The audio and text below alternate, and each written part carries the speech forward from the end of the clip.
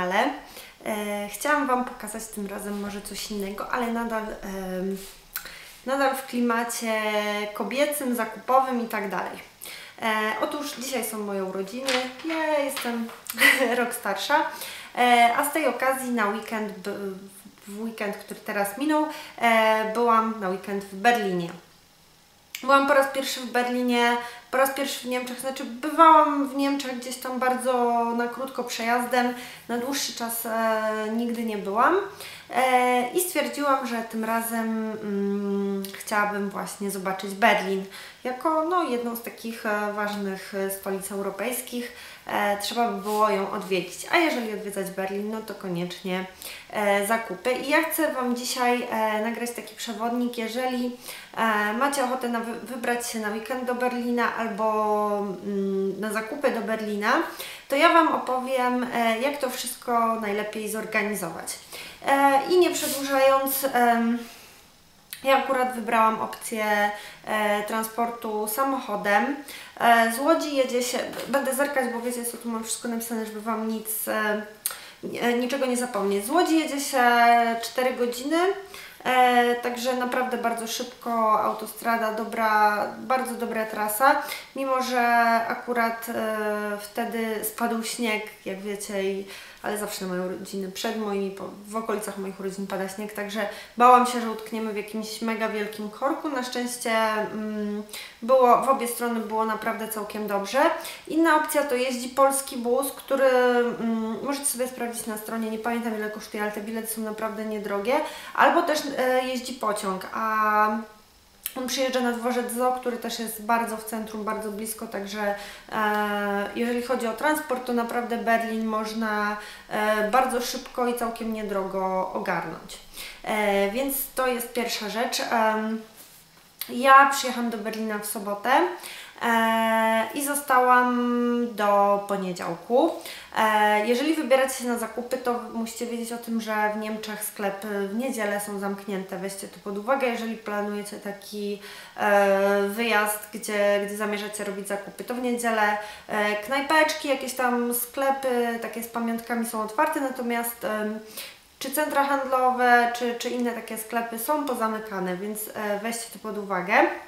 E, I tak, w ogóle Berlin na mnie zrobił niesamowite wrażenie, bo ja się spodziewałam takiej e, gwarnej, tłocznej e, stolicy typu Londyn czy Paryż, gdzie jest pełno ludzi, a wydał mi się taki bardzo, bardzo spokojny, ale pozytywne wrażenie na mnie wy, wywarł, ale takiego mało miejskiego miasta, jeżeli wiecie o co mi chodzi, taki naprawdę taki spokojny.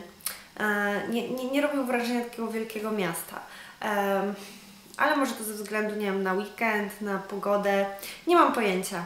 E, jeżeli byliście kiedyś e, w Londynie, to e, w Londynie, pff, w Berlinie, to dajcie znać, jakie są Wasze w ogóle przemyślenia na ten temat. No i tak, gdzie mieszkać albo gdzie się zatrzymać. Jest główna taka ulica, która się nazywa Kurfur, coś tam, ale ja po prostu nie, nie umiem tak, nie znam niemieckiego, nie umiem tego wymówić, więc Wam e, tutaj napiszę. Mm, ja wybrałam hotel właśnie blisko, przestraszyłam się, jakiś szum w rurach. E, ja wybrałam hotel właśnie blisko, um, blisko tej ulicy. Mm, I to był hotel Q, który e, zaraz zobaczycie. E, to jest niesamowity hotel, bardzo nowoczesny design. E, on wygrał jakąś nagrodę najlepszego projektu architektonicznego hotelu e, w zeszłym roku. Jest naprawdę niesamowity, jest taką bryłą, prostą bryłą z zewnątrz. E, w środku jest taki bardzo, bardzo prosty, ale bardzo nowoczesny. Niesamowity korytarz, który jest podświetlony na czerwono. Jak idziecie, to w ogóle zapalają się światła i gra muzyka i taki no jest strasznie kosmiczny. No i niesamowity pokój, który, tam są różne opcje tych pokoi pokoi, które możecie wybierać i pokój, który jest zrobiony w ten sposób, że e, wanna jest jakby centralną częścią pokoju, przyrośnięta do łóżka. No robi to niesamowite wrażenie, strasznie fajnie to wygląda. Wielkie przeszklone okno z widokiem na patio. Tam jeszcze obok jest taki przeszklony prysznic. E, no w ogóle pokój, e, pokój i hotel naprawdę ludzie w ogóle strasznie mili w tej recepcji, strasznie tacy przyjaźni i tacy na luzie, bez jakiejś takiej spinki. E, hotel nie należy do najtańszych, ale możecie sobie szukać przez Trivago, Hotel Booking, jakieś takie strony. Gdzie można znaleźć, e, jeżeli rezerwujecie dużo wcześniej, tam są takie różne promocje, można, można tanio e, znaleźć ten hotel. E, natomiast on nie był bardzo blisko tam KDW i tego całego centrum. Jeżeli szukacie właśnie hotelu i skupiacie, chcecie centralnie pojechać na zakupy, to polecam Wam właśnie znaleźć mapę i zobaczyć, gdzie są zlokalizowane te hotele, żeby mieszkać jak najbliżej. Ku jest tak z 10 minut na piechotę od, od KDW, czyli tego głównego takiego, tej głównej galerii handlowej. E, no i właśnie to jest ta główna ulica, przy której są zlokalizowane wszystkie sklepy i na początku wjeżdżając e, E, od no, wjeżdżając do Berlina właśnie tą ulicą, e, to najpierw e, są, jest taka niesamowita ulica, że jedziecie, jest w ogóle Dior, Gucci, Prada, Chanel, Hermes, nie wiem, Berbery i tak dalej. Po prostu cała ulica jest takich już mega ekskluzywnych butików, projektantów. Później jak jedziecie dalej, to tam się zaczynają jakieś inne sklepy, sieciówki typu Zara, H&M, jest też Urban Outfitters. No i e, centralnym punktem jest właśnie to KDW. KDW to jest e, taki wielki dom e, handlowy, tylko on mi przypomina takie, takie domy centrum. Jak byłam mała, były takie domy centrum, gdzie wszystko macie taki open space i nie ma tam pojedynczych butików, do których wchodzicie po kolei. Kicia przyszła się przytulać. No pokaż. Tak. E, nie macie takich butików, do których wchodzicie oddzielnie po kolei, tylko to jest taka otwarta przestrzeń, wszystko macie jakby powykładane, e, nie ma sprzedawców, znaczy jeżeli potrzebujecie pomoc, to ktoś Wam to ktoś Wam e, udzieli, udzieli tam rady czy pomocy. Natomiast to jest wszystko tak fajnie otwarte, że przychodzicie i to też jest o wiele bardziej komfortowe, jeżeli chodzi o robienie zakupów, bo no w tych wszystkich butikach od razu na Was napadają ci sprzedawcy i czujecie taką presję, a tutaj możecie sobie podejść, pooglądać, pomacać, sprawdzić cenę. jakoś tak e, wydaje mi się, że dużo bardziej komfortowe są e, te zakupy. E, I, I tak, no, tam na dole jest sekcja właśnie taka z kosmetykami. E, są takie bardzo, takie naj, najdroższych tych marek butiki, czyli tam jest Louis, e, jest Berbery, jest z, z akcesoriami. jest Chanel, Dior, Prada. Po prawej stronie tam jest biżuteria, jest Tiffany, jest Cartier, no i jakieś tam generalnie już takie biżuteryjne, jubilerskie butiki. I później się wjeżdża, jest ileś e, pięter e, ciuchów, jest to jest podzielone na damskie, na męskie, na dodatki, torebki, no wszystko generalnie tam jest, co chcecie. Jeżeli wybieracie się tam na zakupy, to od razu powiem, że to są ekskluzywne marki, tam jest drogo, powiedziałabym, znaczy drogo, no te rzeczy tak tyle kosztują i, i nie wybierajcie się na zakupy do KDW, do Berlina, jeżeli nie wiem, e, macie budżet typu, nie wiem, 500 zł, bo, bo nic tam nie kupicie po prostu, e, no bo to już są, to, to już są ciuchy pro, od, projektantów. E, także macie kilka pięter e, tych ciuchów. E, też jeżeli jedziecie tam na zakupy, to nie jedźcie, nie jedźcie w taki sposób, że e, chce, nie wiem, nie macie sprecyzowanego tego, co chcecie kupić, tylko e, dopiero się zastanawiacie, tam jest sens pojechać, jeżeli wiecie, co chcecie kupić konkretnie, sprawdzić sobie na stronie cenę, jak to wygląda i tak dalej i potem ewentualnie to kupić, e, bo po prostu tam tego jest za dużo, te rzeczy są drogie, no ale po prostu tego jest za dużo, tak, żeby tam chodzić, się zastanawiać, to musicie mieć przemyślane, że no albo szukacie, nie wiem, muszę kota zdjąć, tor, torebki albo, albo butów i wtedy wybieracie tylko to. To jest, ale to jest tylko taka moja, mm, moja dygresja. E, I później wjeżdżacie do, no i tam ciuchy jak ciuchy wiadomo, ale później jest niesamowity dział z akcesoriami do domu, z porcelaną, z różnymi tam nożami, garnkami i tak dalej. Gdzie no po prostu jest wszystko i tam te ceny w zależności no, od tego jaka to jest marka, ale nie są, nie są jakieś, e, jakieś horrendalne, można by tam zrobić fajne zakupy, a po prostu no, jest to ogromne i no tak nie wiem, na przykład cały był dział do pieczenia muffinów, do formy do ciast niesamowite. Później jest jeszcze dział taki, gdzie są pościele, już na przykład Ralfa Laurena, też od projektantów, też niesamowite rzeczy. I dla mnie e, część, która mnie urzekła najbardziej, to była najwyższa, najwyższy poziom Czekajcie, jeszcze tylko patrzę. Tak, yy, czy wszystko powiedziałam. Wjeżdżacie na samą górę i tam jest jedzenie. I tak, i są niesamowite słodycze, takie stoiska yy, z cukierkami, yy, z jakimiś bombonierkami, czekoladkami i tak dalej. Ale jest też na przykład, jest bar Moeta, jest, są różne takie bary gdzie siadać po prostu są takie małe, okrągłe jakby wysepki, taki, to jest taki rodzaj food courtu, tylko no to nie wygląda e, tak jak food courty u nas w galeriach, centro, w galeriach handlowych, no bo właśnie jest bar Moeta albo jest Oyster Bar, mm, Natomiast, e, no nie wiem, tam jest i sushi i, i, najróżniejsze rzeczy i sobie siadacie przy takim okrągłym stoliku, zamawiacie i widzicie jak tam na, na środku Pan Wam przygotowuje e, ten posiłek, podaje. To może być przekąska, może być obiad. E, są też, też widziałam, był na przykład taki stół, gdzie, znaczy tak, taka wyspa, gdzie e, na przykład było tylko wino i sery, e, także no niesamowite naprawdę doznanie dla oka e, i dla podniebienia. E,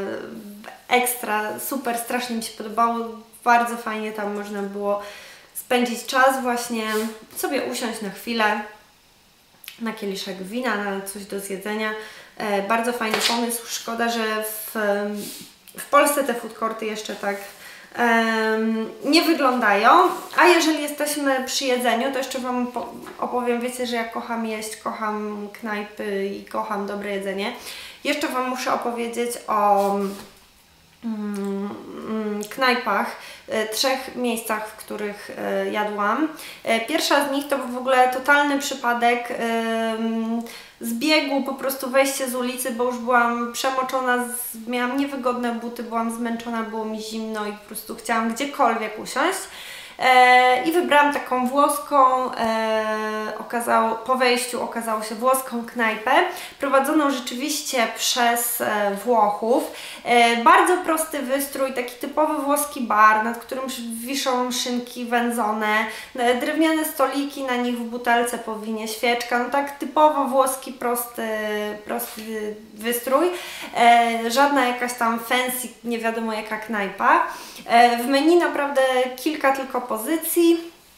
No i akurat zobaczyłam, że e, pan obok e, zamawiał krewetki, wyglądały super. No i zapytałam tej pani, bo w karcie nie było, więc ona mówi, że tam jest jakieś danie dnia codziennie. No i akurat dzisiaj mam kilogram krewetek. No i słuchajcie, po prostu ja uwielbiam krewetki i myślałam, że w Londynie jadłam takie w sosie. Mm, maślanym z czosnkiem. Myślałam, że to były najlepsze krewetki, jakie jadłam w życiu, ale to po prostu, to były świeże krewetki podane tylko z, z gorącą oliwą, z przyprawami. Jeżeli, właśnie błagam, jeżeli ktoś z Was wie, jak się robi taki sos w domu, bo to była po prostu zwykła oliwa, ale tam była pokrojona cebulka, jakieś... Um, przyprawy. Jeżeli ktoś zna jakiś przepis, to bardzo proszę o linka, maila albo opis na dole. Będę bardzo, bardzo wdzięczna. I te, te właśnie te, te krewetki po prostu no, były niesamowite. E, też jedliśmy taką włoską um, pizzę e, z salami. E, też tam na środku, na, na, przystawkę w ogóle się dostawał taki chleb z oliwą i właśnie z tym salami. Na środku knajpy też stało takie niesamowite urządzenie gdzie, gdzie leżał taki kawał tego, te, tego salami i, i taka wielka krajalnica specjalnie do, do tego salami. No po prostu wszystko, słuchajcie, nawet ten, no przepyszne, ja Wam postaram się wygooglować i dać Wam pod spodem linka albo jakiś adres do tej knajpy, jeżeli będziecie w Berlinie i będziecie chcieli spróbować. To naprawdę, no, jedzenie rewelacyjne.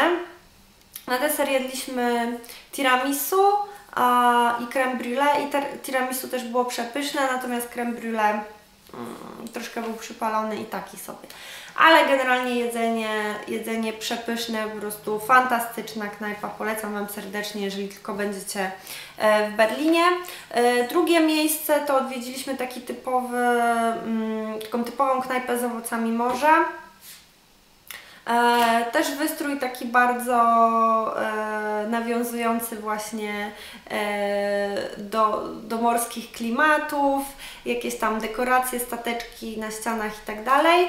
E, pierwszy raz w życiu jadłam ostrygi i chyba ostatni, nie jestem fanką, nie wiem, być może trzeba być koneserem w ogóle, ale to było, o, słuchajcie, straszne, smakowało jak woda z bajora i po prostu, no nie, niestety nie, Ba, nikt mnie nie przekona, że to jest dobre. Naprawdę lubię ośmiorniczki, małże i najróżniejsze rzeczy, ale ostrygi nie. E, natomiast e, na drugie na drugie, e, jako że to była, bo zaraz mi tu wiecie, że się obżeram owocami morza, natomiast to była moja kolacja urodzinowa. Na, na drugie, znaczy na główne danie zamówiłam homara. E, dostałam jakieś strasznie dziwne przyrządy do otwierania go i bałam się, że nie będę wiedziała jak go zjeść, natomiast dostałam go takiego rozkrojonego na pół z grzaneczkami, z sosikami. A i nie było tak źle, hamar był przepyszny. I na deser też e, creme brulee, też jakiś taki taki sobie. E, no i trzecie miejsce to taka typowo niemiecka knajpa, gdzie możecie zjeść jakąś tam golonkę, e, kiełbasę z frytkami, nie wiem, no takie rzeczy. Jadłam taką e, i w ogóle taki niesamowity taki pubo knajpa, wiecie, z piwem, ze stolikami. To była niedziela, leciał jakiś mecz w telewizji, pełno ludzi, po prostu knajpa pełna, wszyscy sobie siedzieli, nie wiem, albo i oglądali ten mecz, jedli kawę, pili kawę z ciasteczkiem albo jedli jakiś obiad. No fantastyczna atmosfera. Szkoda też, że w Polsce nie ma takich miejsc, gdzie właśnie też na przykład starsi ludzie, czyli no starsi ludzie w sensie w wieku naszych rodziców mogą sobie wyjść, właśnie, nie wiem, zobaczyć mecz, posiedzieć, pogadać ze znajomymi. Strasznie, strasznie fajna atmosfera, bardzo bardzo mi się podobało i tam zamówiliśmy takiego ziemniaka pieczonego i w środku był śledź z jakąś sałatką i to było takie sobie, natomiast ja wzięłam zupę gulaszową i była przepyszna, idealnie taka jak lubię, doprawiona, gęsta, ze śmietaną, przepyszna. I to tak jest e, tak, w moim odczuciu takie typowe mm, takie miejsce z takim typowym niemieckim klimatem. E, także tyle o jedzeniu. E, aha, jeszcze jedna rzecz. Właśnie KDW jest, tak mi się wydaje, chyba takim naj, najbardziej znanym tym centrum handlowym. Natomiast jest jeszcze Galeria Lafayette. To jest kawałek dalej. Trzeba, trzeba przejechać kawałek. Po drodze tam e, też fajnie się przejechać, bo się mija te najróżniejsze zabytki, bramę brandenburską e, i ta droga jest całkiem ciekawa, fajnie się tam jedzie. Jest Galeria Lafayette, wokół której też są różne te butiki projektantów i tam mi się wydaje, że w tej Galerii Lafayette są takie też bardziej przystępne, znaczy tańsze marki, no nie wiem, tam widziałam i Melisy, jakieś, no nie wiem, tak e, nie, nie tylko ten taki high-end e, najdroższych marek, ale e, w ogóle wydaje mi się, że tam było więcej rzeczy, więcej marek i jakoś tak mniej ludzi, spokojniej, także ta Galeria Lafayette też całkiem całkiem warta odwiedzenia moim zdaniem. No wokół też tam pełno, pełno jakichś butików projektantów. No i Aha, i jeszcze, jeszcze jedno fajne e, takie miejsce mm, w Berlinie to jest e, Muzeum Erotyki, które jest tam iluś piętrowe, jest sklep, jest... Mm, jest kino, jest właśnie to muzeum. E, jeżeli macie ochotę odwiedzić, to ja Wam polecam, bo strasznie fajne miejsce i bałam się, że to będzie jakieś takie niemieckie hardkorowe porno, a jakoś tak całkiem e, wszystko ze smakiem fajnie zrobione i moim zdaniem warte mm, warte odwiedzenia. E, a jeżeli właśnie chodzi o zakupy, no to ja Wam Berlin zdecydowanie polecam. Jeżeli macie upatrzoną jakąś rzecz, jeżeli macie jakiś większy budżet e, i chcecie sobie mm, kupić jakąś taką droższą rzecz zdecydowanie, no to, to polecam Wam zakupy, zakupy w Berlinie.